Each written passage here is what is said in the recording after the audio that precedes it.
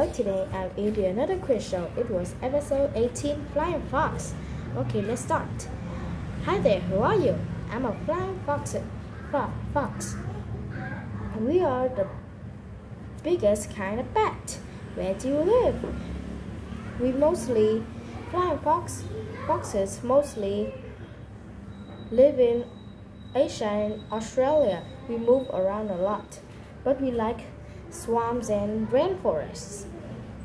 Do you live alone? Nope. We flying fox foxes live in huge groups.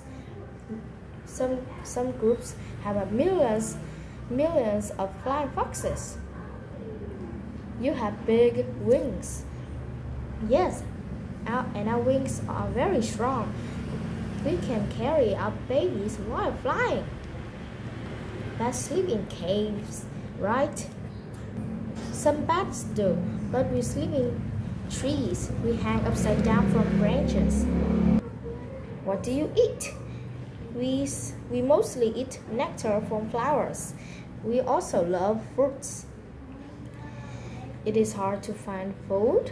Not for, not for flying fox, foxes.